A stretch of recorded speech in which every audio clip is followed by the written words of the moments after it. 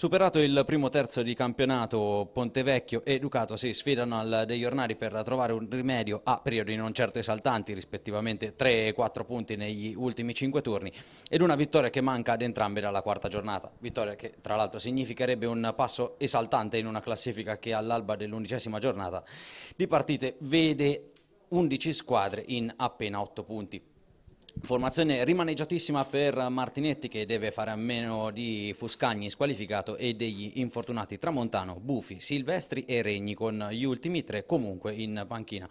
E squadra quindi schierata con eh, il 4-4-2 tra i pali c'è Guerra in difesa Casciari, Ceccarelli, Minelli e Casciani a centrocampo Morucci, Pigazzini, Arcioni e Passeri in attacco Barboni e Mecarelli anche Ricci deve fare i conti con eh, le assenze di Cola, Ammenti e Pergolesi fuori per squalifica dell'infortunato Raspa, adottando così il 3-5-2 delle ultime uscite, con Carsetti fra i pali, Ferretti, Barbetta e De Palma il trio di difesa. Moretti, Piantoni, Fedeli, Emili e Pazzogna sulla mediana. Tomassoni Cavitolo va a far coppia in avanti ed iniziano meglio gli ospiti con Moretti che al tredicesimo viene lanciato in area di rigore, il suo tiro cross viene deviato in calcio d'angolo. Morucci riesce ad andare alla conclusione, ancora Carsetti a respingere, il tapin di Mecarelli è vincente ma non valido per la sua posizione di fuorigioco. Ultima occasione del primo tempo al 45esimo proprio allo scoccare con Moretti che serve Cavitolo il quale piazza il sinistro, bravo Guerra a respingere con, con i piedi. Passiamo alla ripresa con al settimo Casciani che entra in area di rigore sulla sinistra e si scontra con Piantoni le proteste dei padroni di casa per un presunto calcio di rigore. Eh, L'arbitro, il signor Castrica della sezione di Terni, non concede la massima punizione e palla che mm, va a finire quindi in calcio d'angolo per la Pontevecchio. Al diciannovesimo risposta della Ducato con Cavitolo che serve Fedeli in area di rigore, il suo sinistro al volo però termina alto. Un minuto dopo, triangolazione e sponda di Cavitolo, Emili il, con il destro, non inquadra il bersaglio. Ancora al venticinquesimo, una palla morbida di Passeri, trova Pigazzini in area, il suo sinistro però termina a lato. 4 minuti di recupero concessi nella finale e proprio allo, allo, scadere Castrichini prima reclama un rigore per l'intervento in area, poi nella confusione riesce ad impossessarsi del pallone e mh, provare un diagonale destro che però sibila a lato del secondo palo. Termina dunque 0-0 tra Pontevecchio e Ducato, il settimo pareggio stagionale per i ponteggiani, quinto per gli spoletini reti inviolate che quantomeno muovono la classifica e per la squadra di Ricci rappresentano un importante progresso per quella che è la peggior difesa del campionato. Allora, mister, una formazione a dir poco rimaneggiata per, per scelte degli altri sostanzialmente, sì.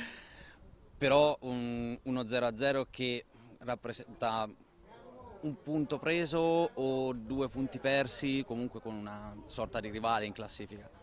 Certo, era, per noi era come uno scontro diretto, le assenze ce n'erano tante, però chi è andato in campo non ha, non ha, sicuramente sfigurato, anzi ha dato il massimo, è quello che io avevo chiesto.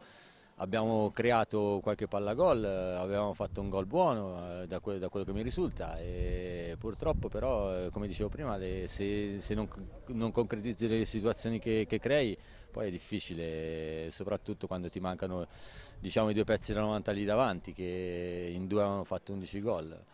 E davanti abbiamo giocato con, con la gioventù, però non, non ha sfigurato, hanno dato il massimo, hanno fatto quello che potevano e sono veramente contento per loro.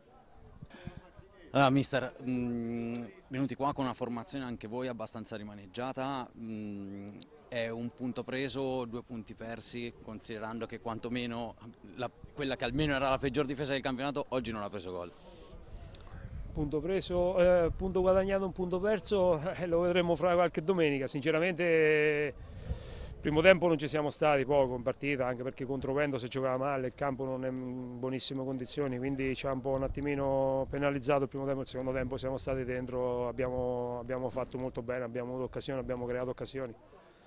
Eh, sì, qualche giocatore di meno, anche loro avevano, avevano qualche defezione. Alla fine secondo me il pareggio è giusto perché anche, anche loro hanno messo tanta buona volontà, tanta, tanta anima, tanta, tanta, corsa e noi il primo tempo da questo punto di vista abbiamo un po' peccato.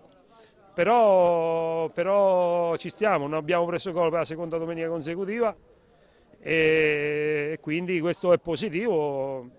Sbagliamo forse ancora un po' troppi gol davanti, abbiamo un'occasione un capitolo il primo tempo eh, il secondo tempo qui con Fedeli, con eh, Gaci, però la squadra sta lavorando bene, quindi continuiamo a lavorare così, sempre con la speranza di trovare prima possibile questa benedetta vittoria che ci potrebbe dare magari quella, quel piccolo slancio per continuare a, a lavorare anche, anche, con molto più entusiasmo. Insomma,